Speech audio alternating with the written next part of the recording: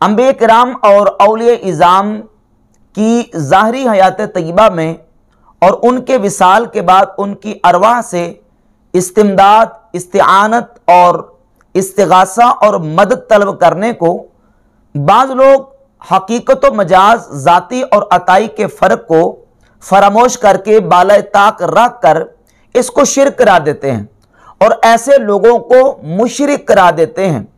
जबकि हकीकत यह है कि ये शिरक नहीं है। इस मसले को समझने से पहले बुनियादी तौर पर चूँकि शिरक और तोहीद के हवाले से यहाँ बात की जाती है तो शिरक और तोहीद की तारीफ़ और उसकी डेफिनेशन समझना ज़रूरी है। बुनियादी तौर पर यह समझें कि शिर किसको कहते हैं और तोहीद क्या है। शिर कहते हैं इस इसबात तो शरीक फिल उलूहिया, बिमाना वजूबिल वजूदी कमाल मजूस और बिमाना इस्तेकाक इबादा कमाल अबदत असनाम। शिर कहते हैं इसबात तो शरीक फिल उलूहिया। किसी शरीक को अल्लाह रब्बुल इज़्ज़त की उलूहियत में शरीक ठहरा देना, उसके लिए अल्लाह रब्बुल इज़्ज़त के साथ किसी को शरीक साबित करना, इस माना में कि उसको वाजिबुल वजूद माने, जिस तरह के मजूसी करते हैं। और बेमाना इस्तेकाल इबादा या उसको इबादत का मुस्तक जानकर अल्लाह रब्बुल इज़्ज़त के साथ इबादत में उसको शरीक ठहराए जिस तरह के बुतों की पूजा करने वाले बुतों को अप, ए, इबादत के लायक समझते हैं। तो इस एतबार से यह भी शिरक है। यह शिरक है कि किसी को अल्लाह रब्बुल इज़्ज़त के साथ उलूहियत में शरीक करना यानी उसको वाजिबुल वजूद मानना या उसको इबादत के लिए मुस्तक उसको मानना यह शिरक है। और तोहीद इसके बिल्कुल उल्टा तोहीद है एतकादुल वहदानियत, यानी अल्लाह रब्बुल इज़्ज़त की वहदानियत का, यकताई का, तनहाई तनहाई का, यकताई का एतकाद रखना। आदमुल मुशारकत गैर उलूहिया, यानी उलूहियत में उसके साथ किसी भी शरीक को, किसी गैर को उसका शरीक ना मानना यह तोहीद है। तो तोहीद और शिर का जो कॉन्सेप्ट है और ये तारीफात हैं, इनके वाजे हो जाने के बाद ये बात वाजे हो जाती है कि अगर कोई बंदा मुस्लिम मोमिन, अल्लाह रब्बुल इज़्ज़त को बादहू ला शरीक मानने वाला और अल्लाह रब्बुल इज़्ज़त के साथ किसी को वाजिबुल वजूद ना माने और अल्लाह के साथ किसी को इबादत का मुस्तक नहीं मानता, वो अगर किसी अल्लाह के बंदे से इस्तेआनत करता है, मदद तलब करता है तो यकीनन उसको खुदा समझ के नहीं, उसको इलाह या मबूद समझ के नहीं, बल्कि उसको अल्लाह का बंदा समझ के। और ये अकीदा रह के, कि अल्लाह रब्बुल इज़्ज़त ने इसको ये ताकत दी है। अल्लाह की दी ताकत से ये मेरी मदद कर सकता है और मेरी इस्तेआनत कर सकता है। ये अकीदा रख के कोई मुसलमान किसी से इस्तेआनत करता है तो ये शिरक नहीं है। अगर अल्लाह रब्बुल इज़्ज़त के अलावा किसी से भी मुतलकन इस्तेआनत को शिरक करार दिया जाए तो फिर कुरान मजीद और अहदीस तयबात में जहाँ इस्तेआनत का अल्लाह के महबूबों से, अल्लाह के बंदों से और अल्लाह रब्बुल इज़्ज़त की मखलूक से इस्तेआनत का ज़िक्र है, उसको किस तरह जस्टिफाई करेंगे? उसको शिरक से किस तरह निकालेंगे? उसकी मिसालें मैं इंशाल्लाह आगे पेश करूँगा। तो सबसे पहले ये बुनियादी तौर पर यह फ़र्क समझना ज़रूरी है। शिरक की तारीफ़ और तोहीद की तारीफ़। और साथ तमहीदन यह बात भी समझना ज़रूरी है, ज़ाती और अताई का फ़र्क इसनाद हकीकी और इसनाद मजाजी का फ़र्क। एक चीज़ उसकी नस्बत जब अल्लाह रब्बुल इज़्ज़त की तरफ़ हो तो अल्लाह की तरफ़ उसकी नस्बत हकीकी और ज़ाती। और जब बंदे की तरफ़ उसकी नस्बत होती है तो बंदे की तरफ़ उसकी नस्बत अताई है। कुरान मजीद में उसकी बेशुमार मुताद मिसालें मौजूद हैं। उनमें से चंद मिसालें पेश करके इंशाल्लाह बात आगे चलाते हैं। कुरान मजीद में अल्लाह रब्बुल इज़्ज़त ने सूरत शूरा की आयत नंबर उनचास में इरशाद फरमाया यहाबुल जकूरा। अल्लाह जिसे चाहता है, बेटियाँ अता फरमाता है, और जिसे चाहता है, बेटी अता फरमाता है।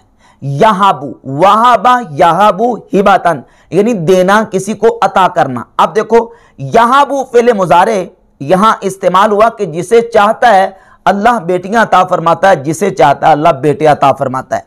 इसी यहाबू से सूर्य मरियम की आयत नंबर 19 में वाहिद मुतकलम का सीगा इस्तेमाल हुआ और इस हिबा की नस्बत हज़रत सैदना जबरील अलैहिस्सलाम की तरफ़ यहाँ मौजूद है।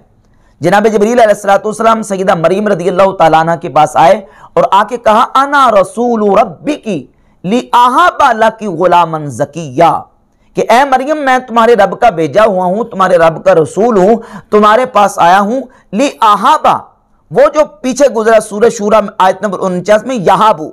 और उसी यहाबू से वह मुतकलम का सिगा ले, आहाबा, ताकि मैं तुम्हें दूँ गुलाम जकिया सुथरा बेटा। देता तो बेटे और बेटियाँ अल्लाह देता है, लेकिन जनाब जबरील कहते हैं, मैं इसलिए आया हूँ, ले आहाबा ला के गुलामन जकिया, ताकि तुम्हें सुथरा बेटा मैं दूँ, अता करूँ। तो जब अल्लाह की तरफ़ इसकी नस्बत है, वह हकीकी और ज़ाती नस्बत है, और जब जनाब जबरील अल्लाह की जो मखलूक है, अल्लाह के बंदे हैं, उनकी तरफ़ हिबा की नस्बत है तो वहाँ नस्बत अताई है। यानी उन, उन्होंने जो देना है, वो अल्लाह की अता से। अगरचे उनकी तरफ़ डायरेक्ट इसकी नस्बत है, लेकिन वो ज़ाती तौर पर इसके मालिक नहीं है, बल्कि अल्लाह रब्बुल इज़्ज़त की अता से वो उनको सुथरा बेटा देने के लिए तशरीफ़ लाए। एक और मिसाल, कुरान मजीद में फरमाया कि अल्लाह खालिक कुल्ल शई, हर शय का खालिक अल्लाह है।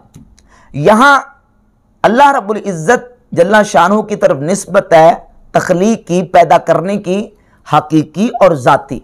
अल्लाह रब्बुल इज़्ज़त ज़ाती तौर पर और हकीकतन चीज़ों को पैदा करने वाला, कायनात की हर चीज़ को पैदा करने वाला अल्लाह। सूर्य आली इमरान की आयत नंबर उनचास में जनाब सैदना ईसा सलाम का कौल अल्लाह रबुल्ज़त ने हिकायत ने बयान फरमाया। ईसा सलाम फरमाते हैं कि, अन्नी अखलुकुलकुमिनतीनी का हाईत तैर। मैं पैदा करता हूँ, मैं तख्लीक करता हूँ तुम्हारे लिए मट्टी से मूरत, सूरत। परिंदे की फ़नफुखी ही फ़यकून तैरम बिज़निल्ला बस मैं उस पर फूक मारता हूँ तो वह अल्लाह के इज़न से परिंदा बन जाता है। अखलुकु, अल्लाह खालिक कुल्ल शई हर शय का खालिक अल्लाह है और हर चीज़ को अल्लाह पैदा करता है। वहाँ निस्बत हकीकी और जाती है और यहाँ सूर्य आल इमरान की आयत नंबर उनचास में जनाब जबरील जनाब ईसा जो फरमाते हैं कि आखलुकुलकुम वहाँ निस्बत जो है वो अताई है, यानी वो अताई तौर पर अल्लाह रब्बुल इज़्ज़त की ये ताकत देने से ये अमल कर रहे हैं। तीसरी मिसाल सूरत जुमर की आयत नंबर बयालीस में अल्लाह रबुल्ज़त फरमाता है, अल्लाह अनफुस।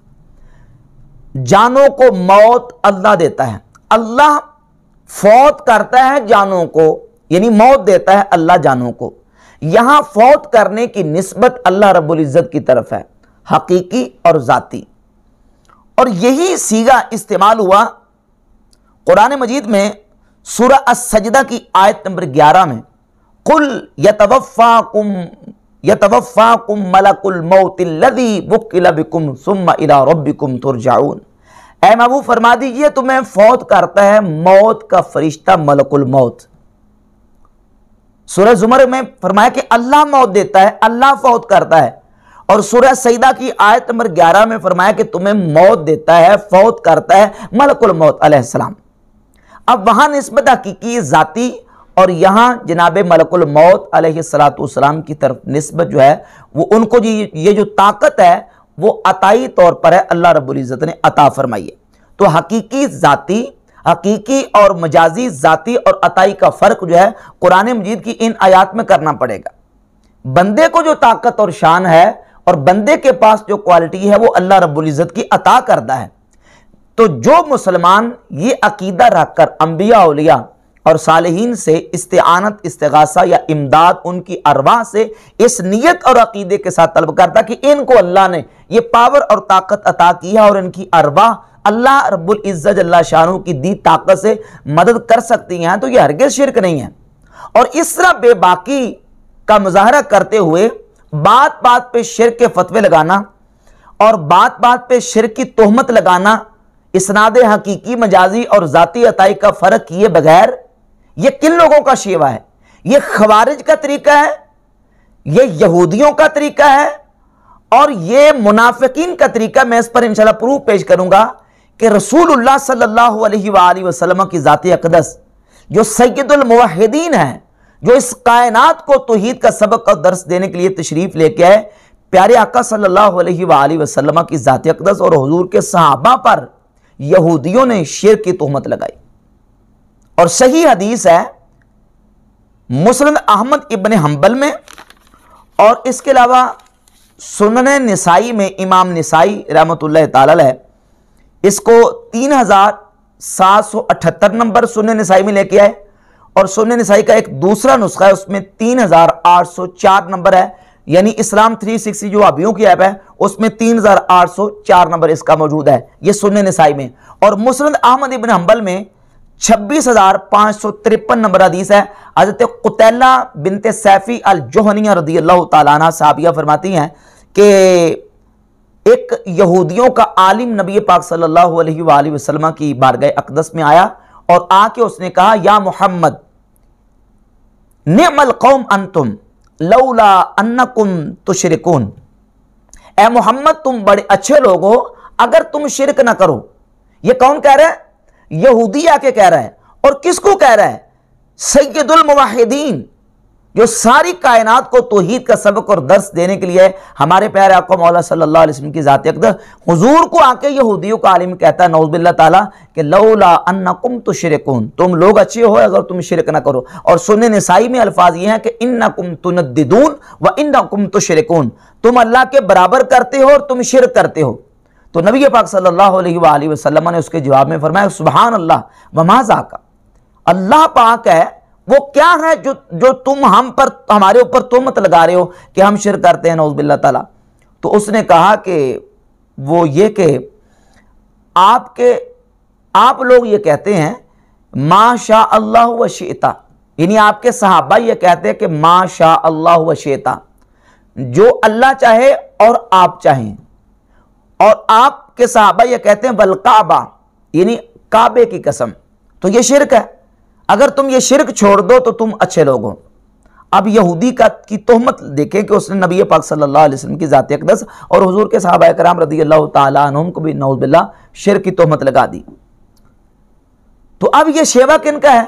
अहल तोहीद पर बिला वजह हकीकी और मजाजी और ज़ाती और अताई के फ़र्क के फ़र्क को बाला ताक रख कर शिर की तोहमत लगाना यह यहूदियों का तरीका।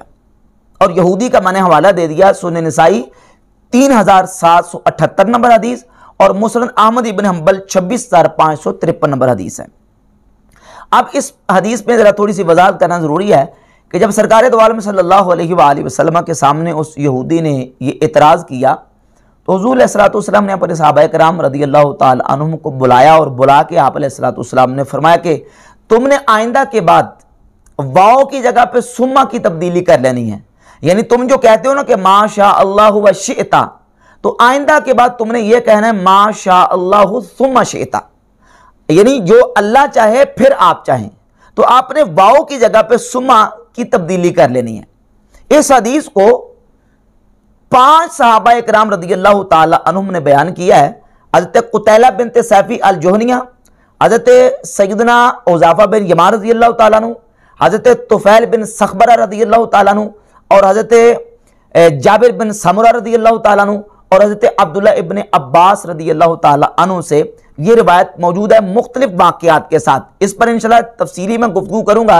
इस रिवायत के बाद जो तुर्क हैं जिसमें अजला बिन अब्दुल्ला अल किंदी अल कूफ़ी अशी रावी है, उसके जो बयान करदा जो तुर्क हैं और जिसमें मरकजी रावी है उस रवायत को खसूस गैर मुकलदीन पेश करते हैं और इबन अब्दुल्ला हबनैदी ने अपनी किताब किताब तोहीद में भी उस रवायत को पेश करके शिरक साबित करने की कोशिश की है। इसमाइल देलवी ने अपनी किताब तकवतुलमान में उस एक तरीक को पेश करके उससे शिरक साबित करने की कोशिश की है और इसी रिवायत को मुसरद अहमद इबन हम्बल के हवाले से, जो इबन अब्बास रदी अल्लाह से जो मरबी तरीक है, अजला बिन अब्दुल्ला अल किंदी अशा जो अशी है, उसका जो जो जिसमें वो मरकजी रावी है, उसको मिर्ज़ा ने अपने रिसर्च पेपर नंबर थ्री में जिसका है, दुआ सिर्फ़ अल्लाह ही से उसमें पेश की इंशाल्लाह उस पर मैं तफसीला गुफ्तू करूँगा। तो यहाँ सिर्फ़ बताना मकसूद यह है कि यह शिर की तोहमत जो लगाई गई है, ये यहूदियों की तरफ़ से लगाई गई। अब क्यों लगाई है?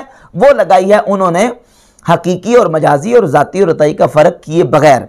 अब सरकार द्वार में सल्लल्लाहु अलैहि वसल्लम ने जो हरफ को चेंज करने का हुक्म दिया, वो इसलिए नहीं कि नौज बिल्ला ये शिरक था और हजूर ने, के सामने पहले साहब अक्रम शिरक करते थे और नबी वसलाम ने बाद में उनको मना कर दिया कि तुमने ये नहीं करना, क्योंकि यहूदियों की तरफ़ से ये इतराज़ आ गया कि ये शिरक है। ऐसी बात नहीं है। क्यों? इसलिए कि साहबा करम ये मुसलसल कहते आ रहे थे, अगर नऊज बिल्ला इस चीज़ को शिर करार दिया जाए तो फिर इसका मतलब यह निकलेगा कि साहबा कराम पहले शिर करते थे और हुजूर ने उनको मना नहीं किया। सरकार तो आए ही तो ही सिखाने के लिए। और इसका मतलब यह निकलेगा कि यहूदियों के आलिम के तोहीद सिखाने से नबी सल्लल्लाहु अलैहि वसल्लम और हुजूर के साहबा को तोहीद का पता चला। इससे पहले तो नौजबिल्ला वो शिर कर रहे थे अलगाजबिल्ला ताला। हालाँकि यह मतलब नहीं है, बल्कि बड़े बड़े अजिल्ला आयमा मुहदसिन के हवाला जात मौजूद हैं। इमाम तहावी रहमत ने अपनी किताब शरो मुश्किल मुश्किल आसार में भी इसी रवायत को बयान करके उन्होंने लिखा यह पहले मुबा था पहले बात था और बाद में हजूल असरातम ने इसको मना कर दिया। इमाम नबी रहमत ने रियाज सालही ने पूरा चैप्टर और उनवान इस बात का कायम किया है कि माशा शाह वो शेता पहले कहना जायसर बाद मकरू हो गया। यानी उसके कराहत का बयान, उसके शिरक का बयान ही किया। ये नहीं कहा कि उसके शिरक का बयान, ये कहा कि उसके मकरू होने का बयान। क्यों मकरू? इसलिए कि नबी पाक सल्लल्लाहु अलैहि वसल्लम ने उस लफ्ज बाव को मना कर दिया और कहा कि माशा अल्लाह व शेता की जगह पे तुमने कहना माशा अल्लाह सुम्मा शेता। तो पर इनशाला इस पर पूरी तफसीलन जो है ना वो डिटेल इसी हदीस के ऊपर इनशाला गुफ्तु करेंगे। तो दूसरा हवाला जो मुनाफिकीन की तरफ़ से है कि मुनाफिकीन ने भी शिर का फतवा लगाया और शिर की तोहमत लगाई। तफसीर की मोतबर और मुस्रंद किताबों में यह वाक़ मौजूद है कि जब नबी पाक सल्लल्लाहु अलैहि वसल्लम ने हुक्म दिया कि जिसने मेरी इतात की, उसने अल्लाह की इतात की और जिसने मेरे साथ मोहब्बत की, उसने अल्लाह के साथ मोहब्बत की। यह सुनकर मुनाफिकी ने यह कहा कि मोहम्मद सल्लल्लाहु अलैहि वसल्लम नौजबिल्ला ये चाहते हैं कि जिस तरह ईसाइयों ने ईसा अलैहिस्सलाम को रब और खुदा बना लिया था। हम भी इनको रब और खुदा बना लें। नौजबिल्ला ताला। सूरत निसा की आयत नंबर 80 की तफसीर में इमाम इब्नुल जौजी ने अपनी किताब जादुल मसीर में यह तफसीर की किताब है इमाम इब्नुल जौजी की, तफसीर जादुल मसीर।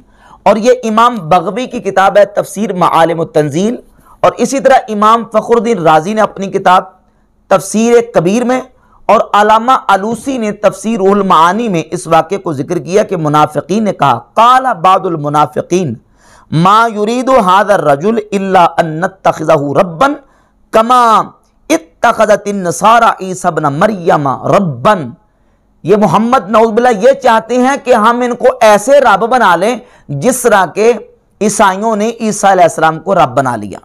तो अब इस बात पर मुनाफिकीन ने रसूलुल्लाह सल्लल्लाहु अलैहि वसल्लम की ज़ात अकदस पर नाउज बिल्ला ताला शिरक की तोहमत लगाई।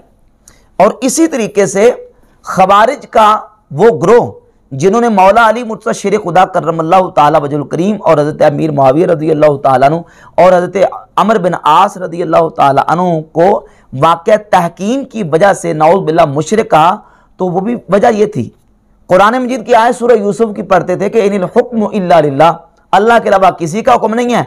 लिहाजा चूँकि मुआविया और अली ने दोनों ने हाकिम मुकर करके शिर किया है, लिहाजा दोनों नौजबिल्ला तला मुशरक हो चुके हैं। और फिर मौला अली के सामने यहाँ तक कहा कि अशरक तफीदीन रजाल, ए अली तू ने बंदों को खुदा का शरीक बना के शिर किया है, लिहाजा हम तेरी तात नहीं करेंगे। अलविदावत नहाया में ये वाक्य मौजूद है। और इमाम नसाई ने अपनी किताब खसास अली में रिवायत नंबर एक सौ पचासी इसी को बयान किया।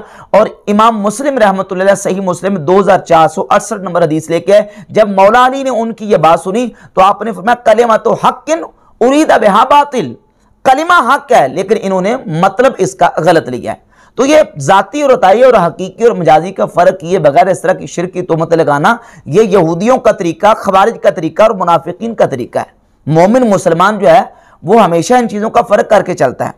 तो अब इन तमहीदी बातों से ये बात वाज हो गई कि अलिया अल्लाह और अम्बिय कराम अलहमसलवात तस्लीमत की ज़ाहरी हयात तयबा में और उनके विसाल के बाद उनकी अरवा से इस्तियानत इस नीयत के साथ अगर किसी, कोई बंदा करता है तो वो शिरक नहीं है। ज़ाती अताई और हकीकी मजाजी का फ़र्क सामने रखकर। अब इसको शिरक साबित करने के लिए जिन चीज़ों का सहारा लिया जाता है और जिन आयात को पेश करके, जिन आयात को पढ़ के इसको शिरक साबित किया जाता है उनमें से बिलखसूस जो आया तयबा सूरतुल्फातिया की ईया का नाबुद व ईया का नस्ताइन कहते हैं ये कुरान में तो वाजे लिखा हुआ है कि हाँ, या हम तेरी ही इबादत करते हैं और हम तुझ ही से मदद तलब करते हैं।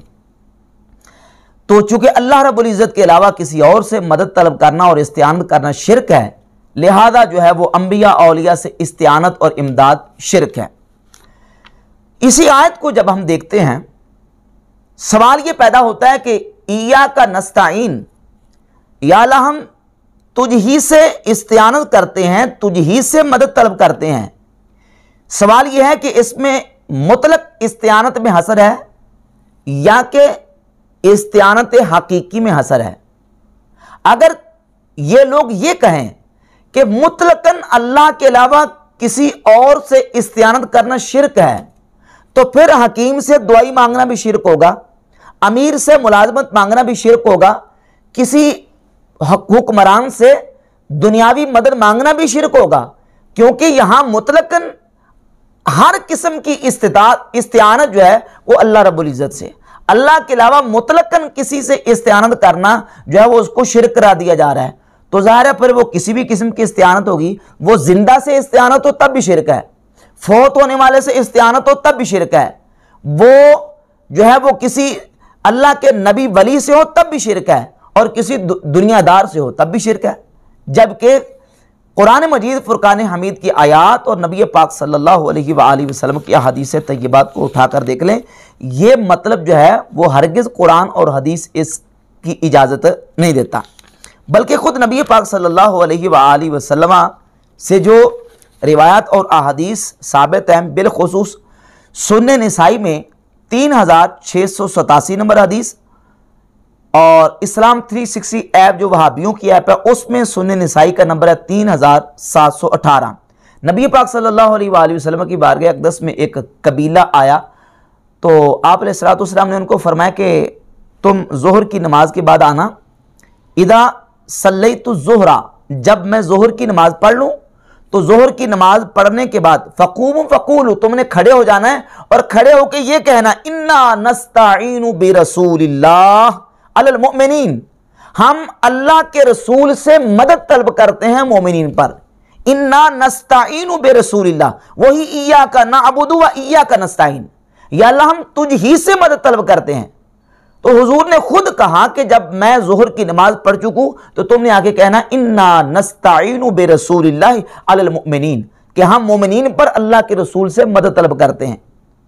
तो वहाँ तो मुतलक अगर मुराद लिया जाए इस्तेआनत को, कि मुतलकन इस्तेआनत अल्लाह के अलावा किसी से करना शिरक है तो नाउज बिल्ला ताला क्या अल्लाह के नबी सलाम शिरक की दावत दे रहे हैं? क्या नाउज बिल्ला ताला शिरक की तालीम दे रहे हैं? हुजूर खुद फरमा रहे हैं कि तुमने आके ये कहना है, इन्ना नस्ताइन बे रसूलमिन कि हम मोमिन पर अल्लाह के रसूल से मदद तलब करते हैं? और इसके अलावा नबी पाक सल्लल्लाहु अलैहि वसल्लम कि ज़ात अकदस की बारगाह अकदस में हज़रत सईदना रबिया असलमी रदी अल्लाह तु जब हाजिर थे, सही मुस्लिम में, एक हज़ार चौरानवे नंबर हदीस है और सुन्ने अबीदौद में एक हज़ार तीन सौ बीस नंबर और मुसरद अहमद इबन हम्बल में सोलह और सोलह नंबर हदीस है कि हजूल सलाम की बारगाह अकदस में जब हज़रत रबिया असलमी ने हजूर को वज़ू करवाया तो आप सलाम ने उनसे क्या फरमाया? आपने फरमाया सल रबिया। और सुनिया बिदौद में और मुस्लिम अहमद इबन हम्बल में और मोजम तबरानी में लफ्ज ये हैं सलनी रबिया, मांगो मुझसे। आतई तू का मुस्लिम अहमद इबन हम्बल है। आतई तू का मुझसे मांगो, मैं तुम्हें अता करूँगा। ये नहीं कहा अल्लाह से मांगो, कहा, सलनी आतई तू का। मुझसे मांगो, मैं तुम्हें अता करूँगा। तो हज़रत रबिया रज़ी अल्लाह तु हजूल सलाम की बारगाह अकदस में किस चीज़ का सवाल किया? उस चीज़ का, जो चीज़ मा फोकल असबाब है। यानी बज़ाहिर ऐसी चीज़ नहीं है कि जो असबाब के तहत किसी को दी जा सके। यानी इस तरह नहीं कि कोई जेब में पैसे थे, उन्होंने पैसे मांग लिए। और आप सल्लल्लाहु अलैहि वसल्लम वो दिरवो दिनार उनको अता कर दिए। यानी वो चीज़ मांगी जो मा फोकल असबाब है, जो बज़ाहिर इंसान के हाथ में असबाब के तहत नहीं होती, वो क्या मांगा? अस अलू का मुराफ़त का फिल जन्ना। हुजूर, मैं आपसे माँगता हूँ कि आप मुझे अपना जन्नत में पड़ोस अता फरमा दें। हुजूर ने यह भी फरमाया कि मुझसे मांगो, मैं तुम्हें अता करूँगा। और साहबी ने कहा कि अस अलू का मैं आपसे माँगता हूँ। तो यहाँ दोनों तरफ़ हुजूर ने मांगने का हुक्म भी दिया और साहबी ने मांगा भी यह शिरक से कैसे निकलेगा?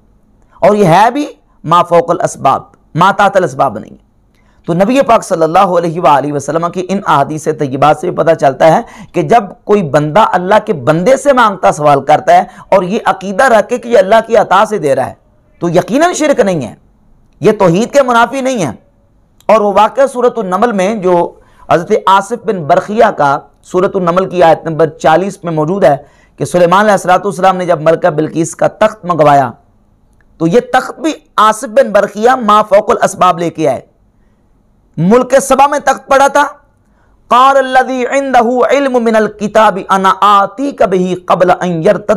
तरफुक। कहा कि उस शख्स ने कहा जिसके पास किताब का इलम था कि मैं आपकी बारगाह में मलक बिल्किस का तख्त लेके आऊँगा आपकी आँख जपकने से पहले। आँख जपकने से पहले। और सुन कुबरा बैकी में इमाम बैकी रहमत हज़रत अब्दुल्ला बन अब्बास रदी अल्लाह ताला से लेके आए कि ये तख्त लाने वाला आसिफ बिन बरखिया हज़रत सुलेमान सलाम का कातिब और मुंशी था, आसिफ बिन बरखिया। तो आसिफ बिन बरखिया मुल्क सभा से एक आँख जपकने से पहले तख्त सुलेमान सलाम की बारगाह में हाजिर कर रहे हैं। सवाल ये पैदा था ये किस ताकत से कर रहे हैं? ये कौन सी ताकत थी? आज इस कदर तरक्की याफ्ता दौर में, टेक्नोलॉजी के दौर में, आज तक ऐसी अभी तक कोई टेक्नोलॉजी नहीं है कि जो दीवार के बाहर से कोई चीज़ पड़ी हो, एक आँख झपकने से पहले वो दीवार से अंदर मकान या कमरे में कोई ले आए, आज तक ऐसी कोई टेक्नोलॉजी नहीं है। लेकिन हज़ारों साल पहले आसिफ बिन बरखिया ने अल्लाह रब्बुल की दी हुई ताकत से मुल्क सभा से वो तख्त सुलेमान सलाम की बारगाह में पेश कर दिया। किस ताकत से? रूहानी ताकत से। और रूह जो है, वो इंसान की नहीं मरती। यानी इंसान की जो मौत है, डेथ है, वो क्या है? रूह का जिस्म से निकल जाना। रूह का जिस्म से निकलना ये मौत है। तो रूह जिस्म से निकलने के बाद भी मरती नहीं है। अब आसिफ बिन बरखिया जो लेके आए हैं तख्त वो जिस्मानी ताकत से कि रूहानी ताकत से? यकीन रूहानी ताकत से। वो तो वहीं बैठे हैं। लेकिन रूहानी ताकत से सुलेमान सलाम की बारगाह में उस तख्त को आसबिन बरखिया ने पेश कर दिया। तो रूहानी ताकत ज़िंदगी में भी और रूहानी ताकत ज़िंदगी की, यानी इंसान की दुनियावी ज़िंदगी के बाद बरज़ख में तो रूहानी ताकत और ज़्यादा हो जाती है। बल्कि हजूर सैन गौसे पाक शेख अब्दुल कादिर जिलानी रहमत है मोमिन की रूहानी ताकत का ज़िक्र करते हुए अपनी किताब फतूल गैब शरीफ। ये फतूल गैब, हजूर गौसे पाक सरकार रहमत की वो किताब है कि जिस किताब के ऊपर तमाम मकात फ़िक्र का इतफाक़ है। अहल सुनत का कम कहलाने वाले देवबंदी हों या वो वाबी गैर मुकलद हों या अहल सुनत वजमत बरेलवी हों, तमाम मानते हैं कि यह फतूल गैब शरीफ हजूर गौसपाक सरकार रहमत की किताब है। इस किताब में गौसपाक सरकार रहमत सफ़ा नंबर पैंतीस पर और सफ़ा नंबर पैंसठ पर और सफ़ा नंबर तिहत्तर पर। बंदे मोमिन की शान और ताकत का ज़िक्र करते हुए फरमाते हैं कि जिस वक्त बंदा मौत से पहले मर जाता है, यानी मौत से पहले अपने आप को, अपने नफ्स को मार देता है तो अल्लाह रब्बुल इज़्ज़त जल्ला शान उसे सिफत तकवीन अता फरमाता है। अब वो तकवीन की सिफत, वो सिफत तकवीन जो अल्लाह रब्बुल इज़्ज़त ने बंदे मोमिन को जन्नत में अता करनी है। इस सिफत तकवीन का ज़िक्र करते मिर्ज़ा मोहम्मदी इंजीनियर ने इससे ये इस्तलाल किया है कि वो जो अल्लाह ताला सिफत तकवीन जन्नत में बंदा मोमिन को अता करेगा तो यानी उसके कहने से चीज़ हो जाएगी। तो वो कहता जी, अल्लाह ताला बंदे को जन्नत में मिनी गार्ड बना देगा। हम कहते हैं मिनी गार्ड अल्लाह रब्बुल के अलावा कोई भी खुदा नहीं हो सकता। ना छोटा, ना बड़ा, ना दरमियाना। ये सरी शिरक है, ये कुफर है। क्योंकि अल्लाह रब्बुल इज़्ज़त जल्ला शाहू की ज़ात के अलावा कोई खुदा नहीं है, सिर्फ़ अल्लाह ही खुदा है। और मिर्ज़ा जो है, इस शिरक का कर रहे हैं, कहता है कि जन्नत में अल्लाह ताला बंदों को मिनी गार्ड बनाएगा। मिनी गार्ड नहीं बनाएगा हाँ बंदों को अल्लाह रबुल्ज़त जल्ला शान ये ताकत और शान अता करेगा। हजूर गोस्पा सरकार रहमत फरमाते हैं कि जिस वक्त बंदा मोमिन, मरने से पहले अपने आप को, अपने नफ्स को मार देता है, सुम्मा युरद्दु आली का तकवीन सफ़र नंबर पैंतीस पर मकाला नंबर है सोलह। फरमाते फिर तकवीन तेरी तरफ़ लौटाई जाएगी और फिर तो इस मकाम पर आ जाएगा कि अल्लाह रब्बुल इज़्ज़त अपनी बाज़ कुतुब में फरमाता है, यबना आदम अनल्लाजीला एबन आदम, मेरे अलावा कोई इबादत के लायक नहीं। अना अकूल शई कुन फ़याकून। मैं किसी शय को कहता हूँ, हो जा तो वो हो जाती है। अतनी अजअल का तकूल शय कुन फ़याकून, तू मेरी इतात कर, मैं तुझे भी बना दूँगा। तू कौन कहेगा तो तेरे कहने से हो जाएगी। गौसपा सरकार रहमत फरमाते हैं, जो अल्लाह रब्बुल इज़्ज़त ने बंदा मोमिन को शान जन्नत में अता करनी है, जब बंदा मरने से पहले मर जाता है तो वह अल्लाह रब्बुल इज़्ज़त जल्ला शान दुनिया में बंदे को वो ताकत और शान अता करता है। ये मकाला नंबर है जी चालीस, सफ़ा नंबर पैंसठ। आप फरमाते हैं कि, वयुरद्दु इले का तकवीन व खरकुल आदात फिर तकवीन तेरी तरफ़ लुटाई जाएगी और खार के आदात चीज़ें तेरी तरफ़ लुटाई जाएँगी।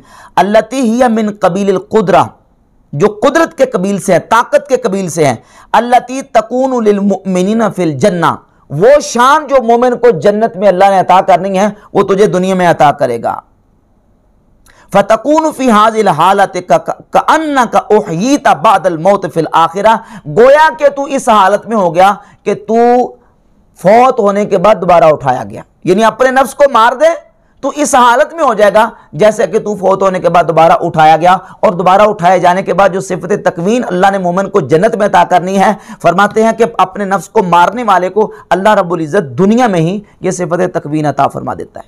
ये गौसपाक सरकार रहमत का मकाला नंबर चालीस है और सफ़ा नंबर पैंसठ और यही इबारत मिलती जुलती सफ़ा नंबर तिहत्तर पर भी मौजूद है। तो आसिफ बिन बरखिया मलक बिल्किस का तख्त किस ताकत से लेके रूहानी ताकत के साथ? तो रूह मोमिन की दुनिया में भी, ज़िंदगी की हालत में, और वफात के बाद भी मोमिन की रूह ज़िंदा है, और जो तसरफ ज़िंदगी में कर सकती है, वो रूह मोमिन की मौत के बाद, फौत होने के बाद भी कर सकती है। अब इस नीयत के साथ कोई अगर इस्तेनत करता है तो यकीनन ये शिरक नहीं है, ये तोहिद के मुनाफी नहीं है। नबी पाक सल्लल्लाहु अलैहि वसल्लम ने फरमाया, कल क़यामत का दिन होगा, सही बुखारी एक हज़ार चार सौ पचहत्तर नंबर हदीस है। अब देखिए, फरमाते कल जब सारी मखलूक खुदा जमा होगी फ़बैन हम कजाल का इस्तगासु बे आदम, सारी मखलूक जमा होके आदम सलाम से आके फरियाद करेगी। अपने छुटकारे के लिए, अपनी खुलासे के लिए, इस्तगासु, इस्तगासा, यस्तगीसु, इस्तगासा। एक होता है एक होता है इस्तेगासा। इस्तेगासा और इस्तेआनत दोनों में फ़र्क यह है, इस्तेगासा उस वक्त होता है जिस वक्त इंसान मुश्किल में, मुसीबत में, परेशानी में हो तो परेशानी के वक्त किसी से, मुसीबत के वक्त किसी से मदद तलब करे और किसी को पुकारे फरियाद के लिए उसको इस्तगासा कहा जाता है। सुमस्तगासु सुम्मा बे मूसा, इस्तगासु बे आदम सुम्मा बे मूसा, सबसे पहले वो मखलूक खुदा आदम अलैहिस्सलाम से आके फरियाद करेगी, मदद तलब करेगी, फिर मूसा से आके तलब करेगी। सुम्मा बे मोहम्मद सल्लल्लाहु अलैहि वसल्लम, फिर सारी मखलूक खुदा आके इन सारी इंसानियत नबी पाक सल्लल्लाहु अलैहि वसल्लम से इस्तानत और मदद तलब करेगी। और वो क्यामत का दिन वो होगा अल अमर जिस दिन अमर अल्लाह रब्बुल इज़्ज़त के हाथ में होगा। अल्लाह के हाथ में ताकत, कुवत तसरफ काफर भी मानेंगे कि अल्लाह रब्बुल इज़्ज़त कायनात का मालिक मालिक योम दिन बदले के दिन का। मालिक के हाथ में सारा कुछ होगा, लेकिन मखलूक खुदा अंबिया की बारगाह में आके मदद तलब करेगी। ये सही बुखारी की एक हज़ार चार सौ पचहत्तर नंबर हदीस है। सबसे पहले आदम सलाम से आके इस्तगासा करेंगे। सुम्मा बे मूसा, फिर मूसा से, सुम्मा बे मोहम्मद सल्लल्लाहु अलैहि वसल्लम फिर नबी पाक सल्लल्लाहु अलैहि वसल्लम से इस्तगासा करेंगे, और जब हुजूर से आके इस्तगासा तलब करेंगे, इस्तगासा करेंगे, मदद तलब करेंगे, फरियाद करेंगे तो हजूर सलाम उनकी मदद करेंगे। वो किस तरह? कि उनकी रब्बुल इज़्ज़त की बारगाह में शफात करेंगे। इसके अलावा मुताद अहादीस मौजूद हैं, जिसमें नबी पाक सल्लल्लाहु अलैहि वसल्लम के सहाबा कराम रदी अल्लाह तुम ने इस्तगासा और इस्तानत ही के हवाले से हजूल सलाम के फरमुदात को रिवायत किया, जिनमें से मशहूर जो हदीस है, वो मैं आपके सामने रखता हूँ। सैदना अब्दुल्ला इबन अब्बास रदी अल्लाह तु हज़रत अब्दुल्ला इबन मसऊद रदी अल्लाह तु और हज़रत उतबा बिन गजवान रदी अल्लाह तु और अबान बिन साले से मुरसल मुसनफ़ इबन बिशाबा में ये रिवायत मौजूद है। इस पर आयमा मुहदसिन की आरा, उनके मामूलात और उनका अमल क्या है, ये तफसीला इन इस पर गुफ्तु करेंगे। वो हदीस ये है, उसका खुलासा और मजमून ये है, ये हदीस सईना अब्दुल्ला इबन अब्बास से मरफून भी, मौकूफ़न भी और हज़रत अब्दुल्ला बिन मसूद से और उतबा बिन गजवान से ये मुतद कुतब हदीस में मौजूद है। सबसे पहले सैदना अब्दुल्ला इबन अब्बास रदी अल्लाह तु से जो हदीस है और हज़रत अब्दुल्ला इबन मसूद से जो हदीस है, उसका खुलासा यह है कि जब तुम किसी सफ़र में हो और किसी सफ़र में तुम्हारी सवारी गुम हो जाए और वहाँ तुम्हारा कोई मददगार और अनीस मौजूद ना हो तो नबी पाक सल्लल्लाहु अलैहि वसल्लम ने फरमाया कि फिर तुम उस मौके पर यह कहो, या इबाद अल्लाह आईनूनी अगीसूनी या इबाद अल्लाह ए अल्लाह के बंदो मेरी मदद करो ए अल्लाह के बंदो मेरी फरियाद को पहुंचो एह बेसू ए अल्लाह के बंदो मेरी सवारी को रोको। फरमाया, अल्लाह के वहाँ ऐसे बंदे होंगे जो तुम्हारी मदद करेंगे, जो तुम्हारी सवारी को रोक देंगे। यह हदीस सैदना अब्दुल्ला इबन अब्बास रदी अल्लाह तु से मुसन्नफ इबन अबी शैबा में तीस हज़ार तीन सौ उनतालीस नंबर यह मेरे पास मौजूद है अल मुसन्नफ जिल्द नंबर इसकी पंद्रह है, और सफ़ा नंबर तीन सौ पैंतालीस, तीस हज़ार तीन सौ उनतालीस नंबर हदीस है मुसन्नफ इबन अबी शैबा में, और इमाम बहकी की किताब शोबुल ईमान की जिल्द नंबर एक सफ़ा नंबर एक सौ तिरासी पर, रकम नंबर है एक सौ सड़सठ। हज़रत अब्दुल्ला बिन अब्बास रदी अल्लाह से। और यही हदीस, ये मुस्लिम बज़ार है, इमाम बज़ार अल मुतवफ़ा दो सौ बानवे हिजरी। अपनी किताब मुस्न बाज़ार, जिल्द नंबर पाँच, सफ़र नंबर चार सौ तेईस पर मरफून हज़रत अब्दुल्ला इबन अब्बास रदी अल्लाह बयान करते हैं कि नबी पाक सल्लल्लाहु अलैहि वसल्लम ने फरमाया, इन्ना लिल्लाहि मलाइकतन फिल अर्द सिवल हाफजाते। कि अल्लाह रब्बुल इज़्ज़त के कुछ ज़मीन में ऐसे फरिश्ते हैं, यकतुबून मा सकत मिन वरक़ शजर, के दरख्तों के जो पत्ते गिरते हैं, उनको वो लिखते हैं। फ़ैदा असाबा अहदुकुम बि अर्द फलातिन फल युनादी जब तुम्हें ऐसी जगह पे कोई मुश्किल पेश आ जाए फल युनादी तो बस वो पुकारे, वो निदा दे। क्या निदा दे? युनादी, इबा आईनूनी इबादल्लाह आईनूनी इबादल्लाह। ए अल्लाह के बंदो, मेरी मदद करो। ए अल्लाह के बंदो, मेरी मदद करो। ये हदीस मुस्न बाज़ार में, और ये अलमोजबुल कबीर तबरानी है। इमाम अबुल कासिम सलेमान बिन अहमद तबरानी की। इसकी जिल्द नंबर सात, सफ़र नंबर अड़तालीस और रिवायत का नंबर है तेरह हज़ार सात सौ सैंतीस। हज़रत अब्दुल्ला इबन मसूद रज़ी अल्लाह की हदीस। वो यही फरमाते हैं कि नबी पाक ने फरमाया ईदा सॉरी, ये हदीस है हज़रत उतबा बिन गजवान से। हज़रत अब्दुल्ला बिन मसूद से एक दूसरी सनद के साथ अल मोजमुल कबीर तबरानी में ही दूसरी मौजूद है रिवायत। ये इसकी जिल्द नंबर है पाँच और सफ़ा नंबर है एक सौ तिरपन। यही हदीस हज़रत अब्दुल्ला बिन मसूद से अल मोजमुल कबीर तबरानी में। और इसका नंबर है दस हज़ार तीन सौ सड़सठ। और उतबा बिन गजवान से इसका नंबर है तेरह हज़ार सात सौ सैंतीस। कि नबी पाक सल्लल्लाहु अलैहि वसल्लम ने फरमाया, इदा अदल्ला अहदुकुम शयन औ अराद अहदुकुम आउनन जब तुम्हारी कोई चीज़ गुम हो जाए या तुम किसी से मदद का इरादा रखते हो। वह बे अर्द अर्दिन लई सफ़ी बिहा अनीस। और तुम ऐसी जगह पे हो के वहाँ कोई तुम्हारा अनीस और मददगार ना हो। फल यकुल तो बस चाहिए कि वो बंदा ये कहे, या इबाद अल्लाह अगीसूनी, या इबाद अल्लाह अगीसूनी, ए अल्लाह के बंदो मेरी फरियाद को पहुंचो, ए अल्लाह के बंदो मेरी फरियाद को पहुंचो। फ़ फ़िन इबादन ला नराहम।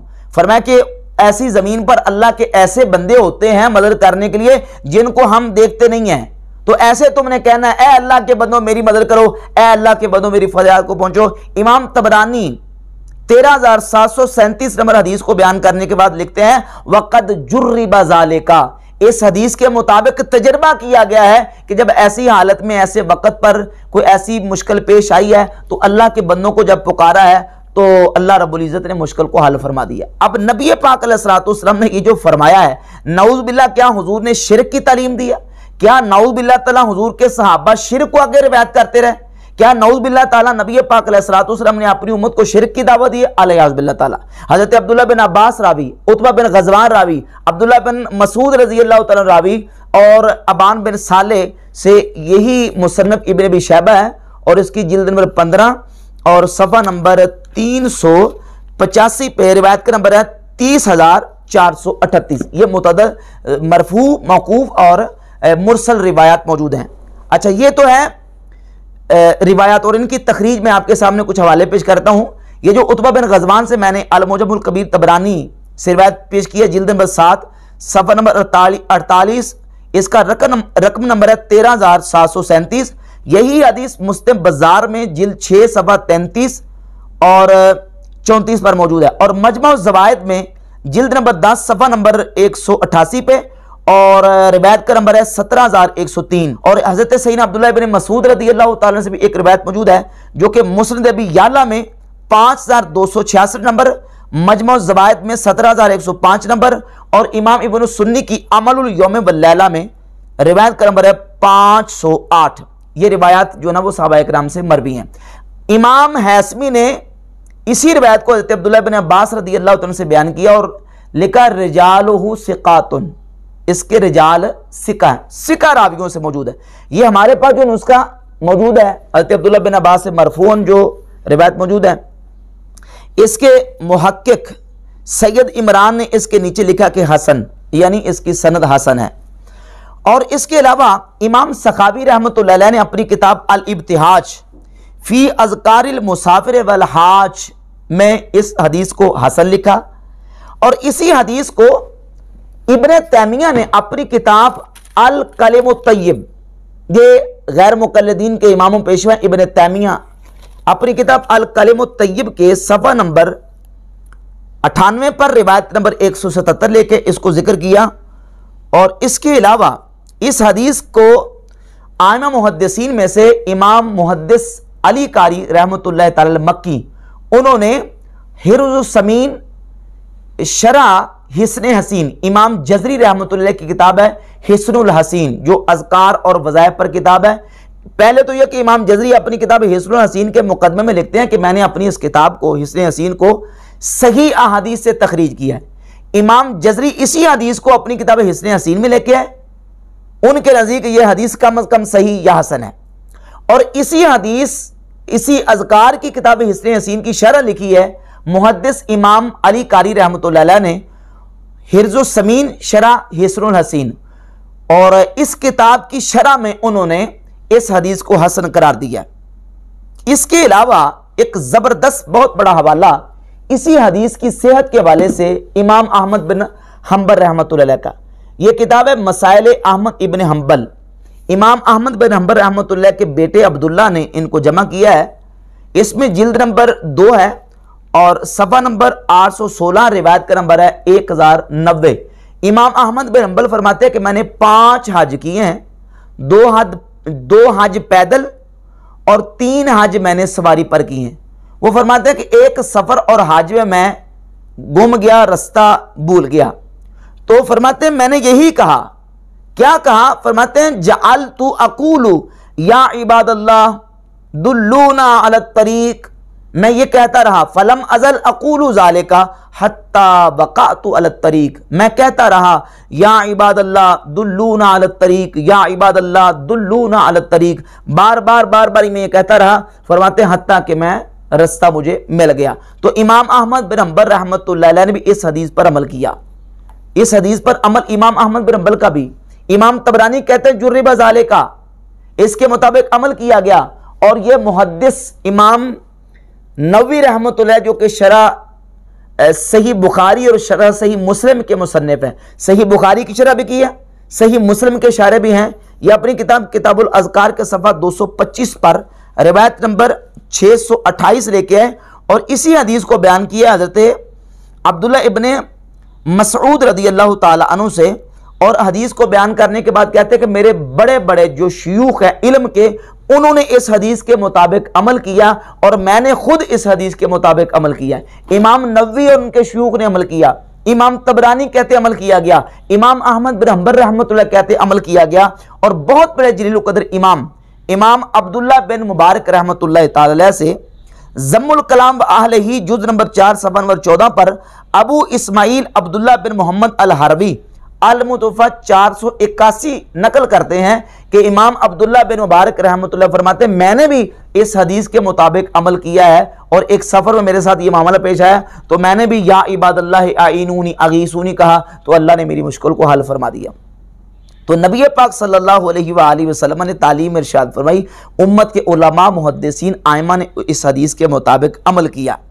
तो अगर ये अल्लाह के बंदों को मदद के लिए पुकारना मुतलकन शिरक है तो फिर ये आयमा मुहदसिन पर क्या फतवा लगाओगे? नऊबिल्ला इमाम अहमद बिन अम्बल दुल्लूनी अल तरीक। ये अल्लाह के बंदों को या इबादल्ला कह के पुकार के मुशरक हो गए। इमाम अब्दुल्ला बिन मुबारक मुशरक हो गए। इमाम नवी रहमत साहब किताबुल्कार मुशरक हो गए।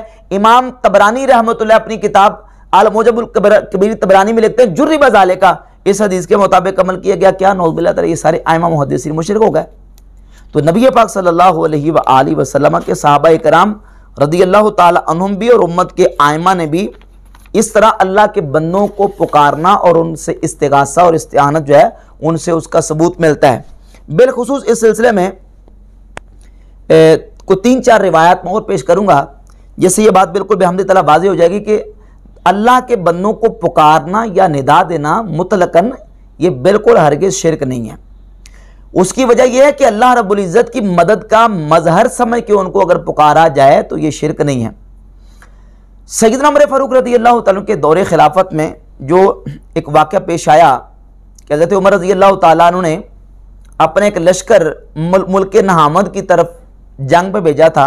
मशहूर वाक़ है कि जब कुफार ने उस लश्कर पर हमला किया तो हज़रत उमर रज़ी अल्लाह तु मस्जिद नबी शीब में मिंबर पर बैठे हुए खुतबा देते हुए आपने फरमाई ए सारिया पहाड़ की तरफ़ हो जाओ। हज़रत उमर मदीना शी में बैठे हैं और निदा दे रहे हैं, पुकार रहे हैं मुकाम नहावन में लड़ने वाले लश्कर को ए सारिया पहाड़ की तरफ़ हो जाओ। तो हज़रत उमर रज़ी अल्लाह तु ने मदीना शरीफ बैठ के इतने दूर लश्कर जो गैब में पुकारा है तो क्या यह पुकारना शिरक है? और इसका हवाला सुन लें। यह रिवायत इमाम बहकी रहमत ने यह सारिया जबल वाली इमाम बहकी ने अपनी किताब दलालनबुआ जिल्द नंबर छः रिवायत नंबर दो हज़ार छः सौ अस्सी ज़िक्र की है। और इसी तरह इमाम बहकी की एक और किताब किताबुल एतकात ये अल एतकाद है। इसके सफ़र नंबर तीन सौ इक्यासी पर यह रिवायत मौजूद है। मेरे पास जो दलालनबुआ का नुस्खा है, इस नुस्खे में भी ये सैयद इब्राहिम नामी महक्क है। इसने भी इस हदीस को हसन लिखा। इसका जो महक्क है, ये सऊदी अरब से छपी है किताब, इसके महक्क ने भी इस हदीस को हसन लिखा।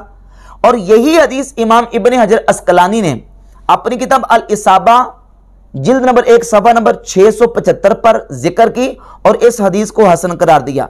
इस हदीस को हाफिज इबन कसीर ने अपनी किताब अल बदाया ब नहाया जिल सात, सफ़ा नंबर एक सौ सैंतालीस पर लिखा और लिखा जयदुन हसन और इसके अलावा इमाम हिबतुल्ला लालकाई की किताब है शर उसूल एतकाद अहल सुन्ना, रकम नंबर दो हज़ार पाँच सौ सैंतीस, दो हज़ार पाँच सौ अठतीस। दो रवायतें लेके हैं यही हज़रत उमर फ़रूक रज़ी अल्लाह का कश्फ और उनके जो दूर से निदा देने का ज़िक्र है, इसको लिखा और मेरे पास जो नुस्खा मौजूद है दारुलदीस अलकायरा का मुहक्क ने उसमें इस हदीस को हासिल लिखा है। और नासरुद्दीन अलबानी ने अपनी किताब मिशकातुल मसाबी तहकीक अलबानी के साथ जो शाया हुई है अलमकतबतुल इस्लामी से बैरूस से उसमें जिल्द नंबर तीन, सफ़ा नंबर एक हज़ार छः सौ अठहत्तर पर, रिवायत का नंबर है पाँच हज़ार नौ सौ चौवन। अलबानी ने इस हदीस को मिशकात की तहकीम में हसन करार दिया है। और इसी तरह असिलसिला तो अहादीस सहिया, अलबानी की दूसरी किताब है, जिल्द नंबर तीन सफ़र नंबर एक सौ एक पे नासरुद्दीन अलबानी ने इस हदीस को हसन लिखा है। इसके अलावा, इबन तैमिया ने अपने फतावा में हज़रत उमर रज़ी अल्लाह का ये वाक़ बतौर कशफ की दलील के पेश किया है। और मदार जो सालकिन में इबन कैम अलजौजिया ने इस वाक़े को कशफ की दलील के तौर पर पेश किया है। अब इस पर मिर्ज़ा जेलमी की तरफ़ से एतराज़ यह है, और ये एतराज़ इसकी तरफ़ से क्या होना है? बल्कि मिर्ज़ा जेलमी का ये इतराज़ भी मौलवी ज़ुबैर जई की अंधी तकलीद में है। मिर्ज़ा चूँकि अंध भक्त है उसका पक्का पक्का तो ज़ुबैर जई ने इस पर एतराज़ इस वाक़े पर सनद के अतबार से यह किया है कि इसमें मोहम्मद बिन अजलान रावी मुदलस हैं और अन के साथ रिवायत है। हालाँकि इन्हीं किताबों में दलाल नबुआ उठाकर देख लें, इमाम बैकी की किताबुल इतकाद उठाकर देख लें और अलामा लालकाई की शरो उसूल एतक़ाद अहल सुन्ना उठाकर देख लें। तीनों किताबों में बाकायदा लफ्ज़ मौजूद है कि मोहम्मद बिन अजलान कहते हैं कि उन्होंने अयास बिन मुआविया बिन कुर्रा से इस हदीस को सुना है। वहाँ समा की तस्री मौजूद है। दलैल बुआ जिल छः सफ़ा तीन सौ बाईस है और रकम नंबर दो हज़ार छः सौ अस्सी।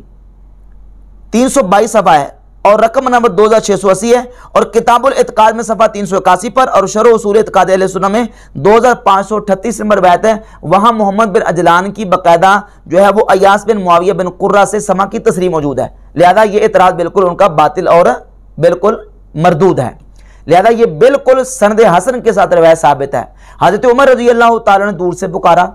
इमाम बुखारी रहमत अपनी किताब अल अदबुल मुफरत में इस हदीस को लेके आए हैं कि सैदना उमर फ़ारूक हज़रत अब्दुल्ला बिन उमर रदी अल्लाह तु का पाँव सुन हो गया।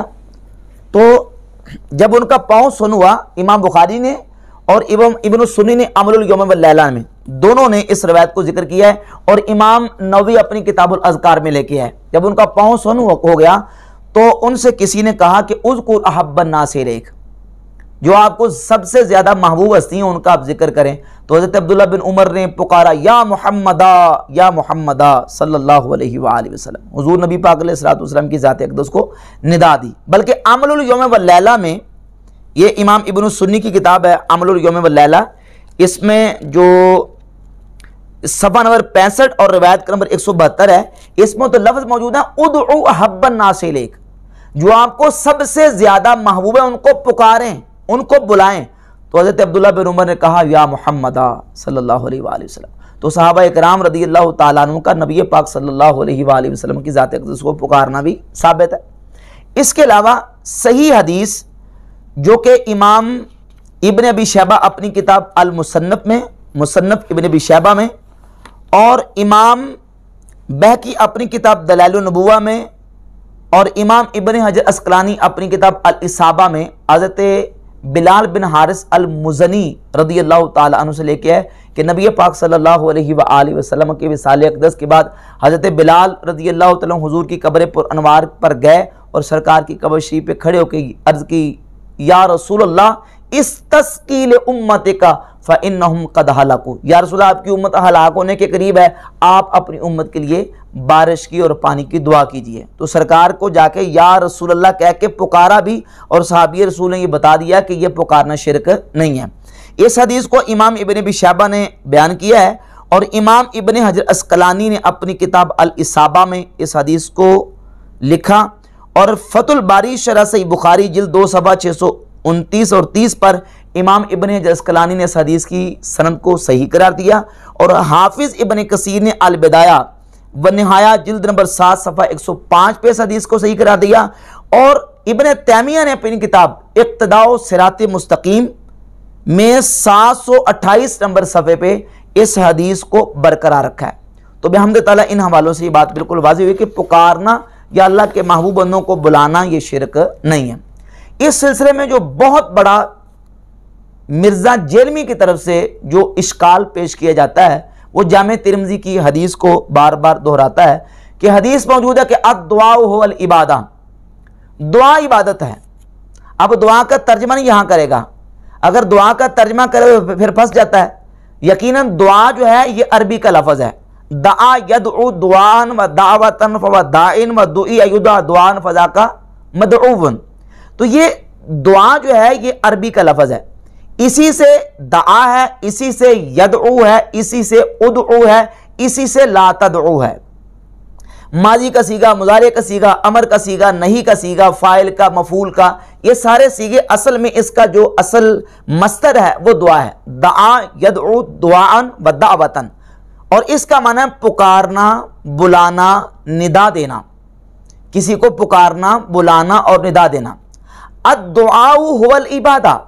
अगर इसका माना यह किया जाए कि पुकारना इबादत है, सवाल यह पैदा होता है कि अब क्या कहोगे कि हर पुकारना इबादत है? हर बुलाना ही इबादत है? हर किसी को निदा देना ही इबादत है? और इबादत तो यकीनन अल्लाह के अलावा किसी और की शिरक है तो यह सारा शिरक हो जाएगा? नहीं। इस हदीस का यह हरगिज मतलब नहीं है। बल्कि इस हदीस का सही मतलब यह है इस हदीस में लफ्ज दुआ के ऊपर अलिफ्लाम दाखिल है। अदुआ यानी अल दुआ तो उसको पढ़ेंगे अदुआ अदुआल इबादा, दुआ इबादत है। अब सवाल ये पैदा होता है कि अदुआ के ऊपर अलिफ्लाम कौन सा है? अलिफ्लाम इस्तराकी है अलिफ्लाम जिनसी है अलिफ्लाम आहदी है। आहद खारजी आहद जहनी आहद हजूरी कौन सा अलिफ्लाम है? क्योंकि अलिफ्लाम की मुतद किस्में हैं? अगर अलिफ्लाम को इस्तराकी करा दे माना यह बनेगा कि हर किस्म का पुकारना यह इबादत है तो ये माना जो है वो बिल बातिल है। क्यों? इसलिए कुरान मजीद की आयात मौजूद हैं कि जिसमें पुकारने की नस्बत बंदों की तरफ़ की गई है।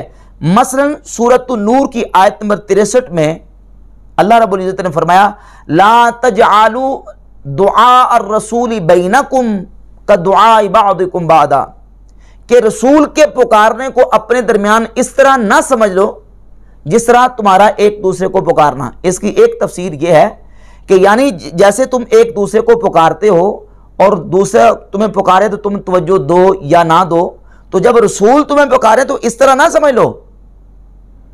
बल्कि रसूल की पुकारने पर फ़ौरन तुम जवाब दो।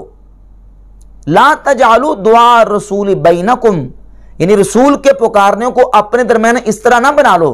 का दुआ इबादकुम बादा, जिस तरह के तुम्हारा एक दूसरे को पुकारना, उस तरह ना बना लो। एक तफसीर यह है। और दूसरी तफसीर यह है कि रसूल को तुम इस तरह ना पुकारो, जिस तरह तुम एक दूसरे को पुकारते हो, बल्कि रसूल को तुम ताजीम के अलकाबात के साथ पुकारो, यानी या रसूल अल्लाह या नबी अल्लाह कह के। बाहर सूरत दोनों तफसीरों के मुताबिक यहाँ दुआ जो है, या तो रसूल का पुकारना होगा, या रसूल को पुकारना होगा। यानी दुआ रसूल का माना यह होगा कि रसूल को पुकारना या रसूल का पुकारना। दोनों माना के एतबार से यहाँ दुआ जो है पुकारना वो पाया जा रहा है। तो क्या यह पुकारना इबादत है? क्या यह पुकारना शिरक है? क्या यह दुआ शिरक है? क्योंकि लफज दुआ का मौजूद है। इसी तरीके से सूर्य आल इमरान की आयत नंबर एक सौ तिरपन में है, अल्लाह रबुल्ज़त फरमाता है कि जब जंग ओहद में बाद साहब कराम रदी अल्लाह तुम मुशरकिन और काफरों के जो ना वो हमले से वो उनके पाँव उखड़ गए और वो दाएँ बाएँ निकल गए। तो अल्लाह फरमाता है, वर रसूल यद कुम फ़ी उखराकुम। और रसूल तुम्हें तुम्हारे दूसरे गुरु में पुकार रहे थे। यद कुम वही दा यद दुआन वदा वतन पुकारना। रसूल तुम्हें पुकार रहे थे। तो क्या यहाँ पुकारना नौज बिला इबादत वाला पुकारना है? नहीं, बल्कि यहाँ बुलाना, पुकारना, निदा देना है। इसी तरह कुरान मजीद में अल्लाह रबुल्ज़त ने इब्राहिम सलाम को जब फरमाया, वो वाक़ उसका ज़िक्र किया है कि आप परिंदों को ले लें और परिंदों को लेकर उनको आपस में उनको अपनी तरफ़ सुधा लें और फिर उनको ज़बा करें और उनको कीमा करके टुकड़े जो ना वो पहाड़ों पे फेंक दें और फिर फरमाया कि सुमदन यातीन कसाया सूरतुल बकरा, आयत नंबर 260 सुमदन यातीन कसाया फिर इनको बुलाओ, पुकारो, यातीन कसाया ये दौड़े हुए तुम्हारी तरफ़ आ जाएँगे। यहाँ उदऊ सीगा है, जिससे ला तदऊ नहीं बनती है। कुरान मजीद में जो आता है कि वला तदऊ इलाहन आखर, कि अल्लाह के साथ किसी और को ना पुकारो, ना बुलाओ, यानी उसकी इबादत ना करो। क्योंकि दा यद दुआन जो है, ये यदना ए याबुदूना के माना में आता है। तफसीर तबरी में इमाम तबरी रहमत ने सुर फातर की आयत नंबर 40 में तदऊना का माना किया, ए ताबुदूना। और दीगर और मकाम भी, तदऊना ताबुदूना के माने में आता है। जहाँ आता है कि अल्लाह के अलावा किसी को मत पुकारो, माना यह है कि किसी की इबादत ना करो। मुतलकन पुकारना मुराद नहीं है। तो अदुआल इबादा का माना यह है कि दुआ ही हुवल इबादा, यानी अल्लाह रब्बुल इज़्ज़त से दुआ करना इबादत है। ना कि मुतलकन पुकारना इबादत है, ना कि मुतलन किसी को निदा देना या किसी को तलब करना इबादत है। अगर मुतलकन तलब करना या पुकारना या दावत देना, इसको इबादत करार दे के शिरक करा दिया जाए तो कुरान मजीद में जहाँ अल्लाह के रसूल अलैहि वसल्लम की तरफ़ दुआ की नस्बत है मोमिन की तरफ़ दुआ की नस्बत है। हज़रत इब्राहिम अलैहिस्सलाम को हुक्म दिया जा रहा है सुम मदउहुन्ना ये दुआ से है। यानी दुआ से अमर का सीगा उदउ है, और उसी से नहीं लाता दो है, कि सुम मदउहुन्ना यतीना कसाया फिर पुकारो उनको, वो दौड़े हुए तुम्हारी तरफ़ आएँगे। तो यहाँ तो पुकारने का हुक्म दिया जा रहा है। वर रसूल यदउकुम फ़ी उखराकुम। और रसूल तुम्हें दूसरे ग्रोह में पुकार रहे थे। ला तजालू दुआ रसूल बैनकुम का दुआ इबादकुम बादा। सूरह नूर आयत नंबर तिरसठ है कि रसूल के पुकारने को आप आपस में इस तरह ना बना लो जिस तरह तुम्हारा एक दूसरे को पुकारना। तो ये बेहमद तला दलाइल से ये बात वाजी होती है कि अदुआल इबादा का माना यह है दुआ ही इबादा। जब बंदा मोमिन अल्लाह से दुआ करता है तो मोमिन का अल्लाह से दुआ करना इबादत है। क्यों? इसलिए कि जब अल्लाह रब्बुल इज़्ज़त से दुआ करता है, अल्लाह को अपना मबूद समझकर, अपना इला समझकर और अपना खालिक और मालिक समझ के उसको पुकारता है और उसकी बारगाह में दुआ करता है तो ये दुआ करना इबादत है। मुतलकन किसी को पुकारना या किसी को बुलाना या निदा देना, ये हरगिज़ इबादत नहीं।